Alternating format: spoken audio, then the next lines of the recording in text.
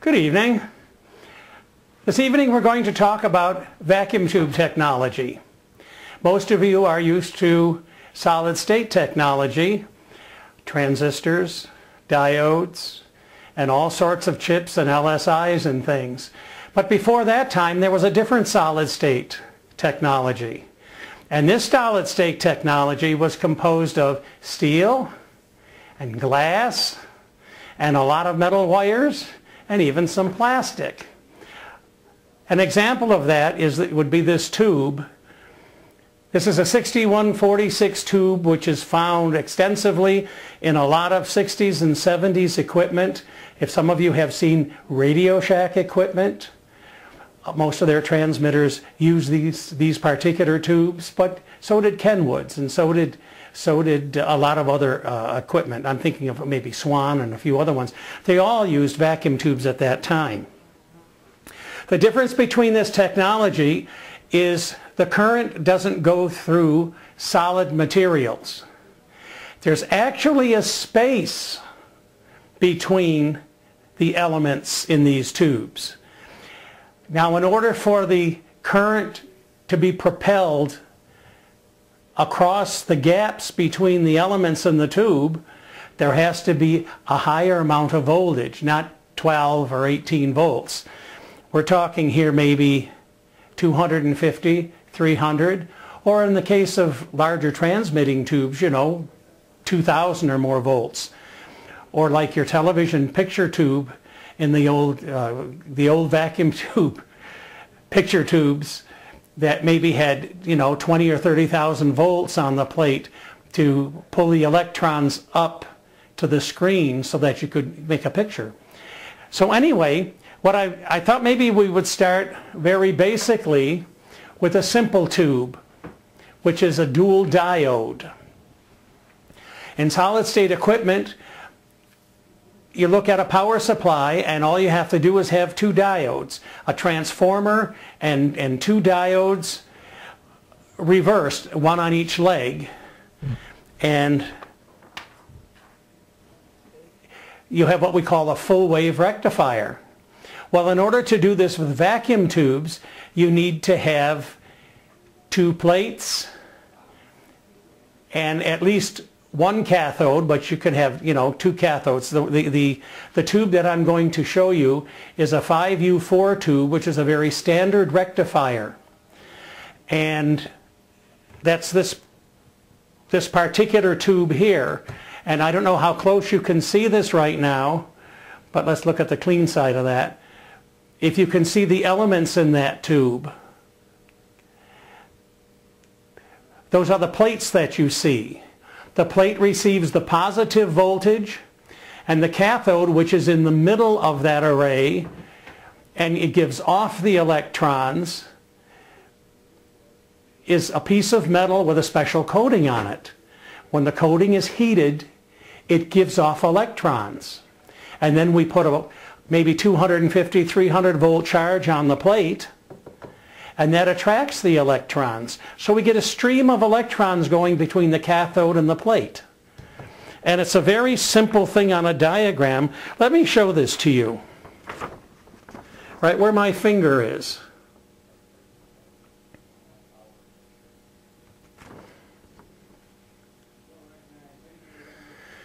This V in the middle is both a filament and the cathode of the tube. It's like the diode.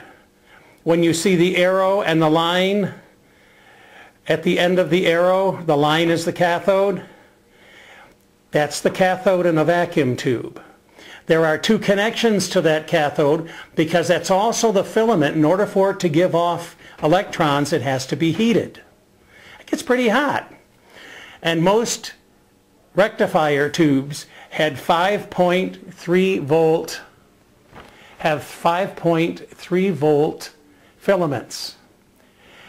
And once the, the, the filament is heated up, you can put you can put the, the high voltage on the plate and you will have a stream of electrons running. And, and being as this is a full wave rectifier, you will have a transformer sending AC voltage 180 degrees out of phase, which will energize one side and then the other 60 times a second. That'll give you a 120 cycle pulse, pulse stream. And that will be direct current though by the time it, it's, it's seen at the plate. And that voltage is what ran most of our radios. Now what I've done is I've put, I have put a 5U4 tube, the tube that I showed you in the diagram, on the tube tester. And when you look at a tube tester, there's all of these different settings that you need to make. But that's really not that difficult to do because down in here is a chart. And the chart tells you what those settings should be. It says the filament switch should be set for 5 volts, which is over here. And then all of these have to be set up. Well, they're saying it's the filament, but it's really not the filament. These, these set the settings on the two cathodes. And there is no grid in that rectifier tube, as you saw. There's just one cathode and two plates. So you don't have to worry about that. But we have to set the plate voltage. And that plate voltage is like 250 volts right now. There is no screen. We'll talk about these later, what those mean. And the cathode is at ground, at zero. And the suppressor is not used here. And then there are a couple of other settings that need to be made on this tube tester. There is a bias setting uh, and, and there's a shunt setting. Well, the bias setting is set at zero because there is, there is no bias given in a rectifier tube. And if you notice over here on the right, there is a meter. And I have set the meter, now it's moved just a little bit from what I had it set before, but you have to make sure that the dial is aimed at that little line up there that says line test. And I'm going to just jack it up just a bit. Because with the tube running and the, and the um, tester having been on for a while, uh, the parameters change a little bit, the current and the voltages thing, so you have to reset that.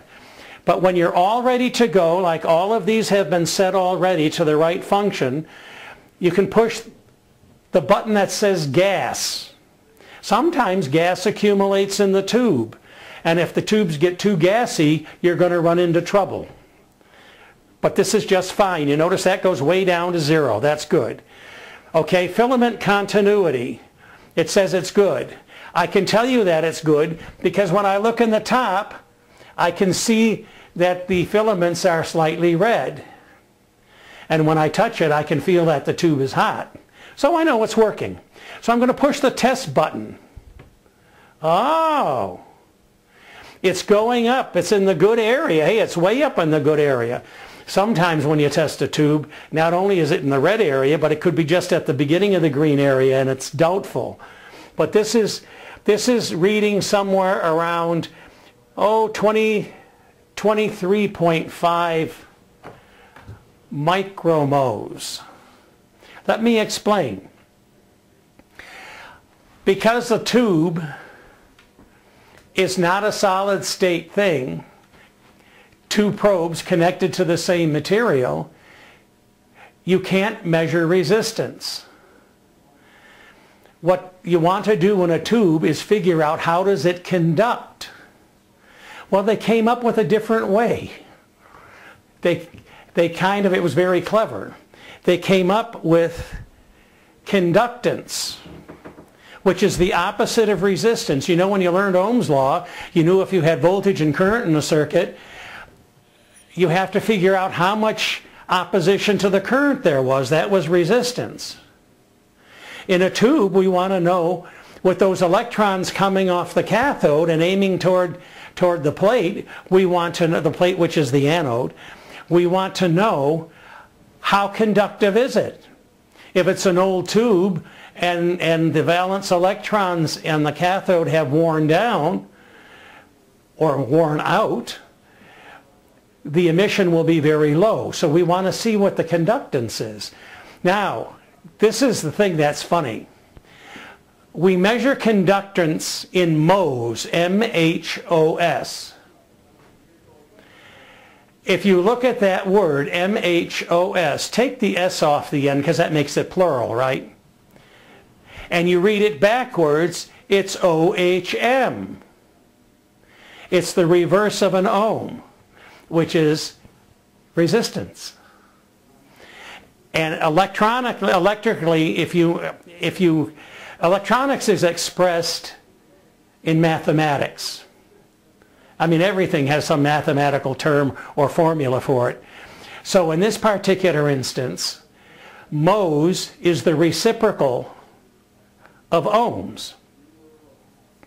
So you could take the mhos, if it's, if it's reading like it's reading 2300 23.500 mhos, I could put that into a calculator and hit the reciprocal key with the one over the, over the line and it would give me mhos. It would change the mhos into resistance. But we don't do that. I just, when you look in tube manuals, most of the time they tell you what the transconductance reading should be, and this just gives you, like a thermometer, is that tube working up to par? And don't worry if it's working a few mhos less or, or more. That's not a problem. As long as it's working is the main problem. Because a lot of these a lot of these tubes have a lot of hours on them already. You see them at Hamfests, okay? Now, this is a very simple tube that we just talked about. This, this simply allows alternating current to go across. It's a full wave rectifier, so they're going to be 180 degrees. The one side is going to be positive while the other one's negative. Well, the cathode's only going to conduct when it's negative. So the other one isn't going to conduct, and it's going to flip-flop and it's going to give you a 120 cycle signal on the other end. And then you filter that out and you've got a nice DC. But these guys that thought of vacuum tubes, they came up with a lot of other interesting things. They found out that what they could do is they could add some other pieces into the puzzle and come out with tubes that did other functions. You can regulate the flow of electrons between the cathode and the plate. If we put a little screen in there and we put a negative voltage on it, as we raise that negative voltage to a certain level, we could stop the stream of electrons going across. And now if we set it at just the right voltage, we could put an alternating current from, for instance, our voice. And we could make that trail of electrons going from, from cathode to plate vary up and down. That's how a vacuum tube works. When it swings more positive, you get more, you get more current going through the tube. So the signal goes up. And then as you swing the other way on the alternating current, which, which a voice would be, all kinds of alternating currents, as it swings the other way, then it would come down and oppose the current coming across. So if you set that right in the middle, you're going to get a little signal going in this way. And since you're putting 250, 300 volts across that gap, you're going to get a big swing in that. Just like a transistor works. Doesn't work the same way, but it's the same effect.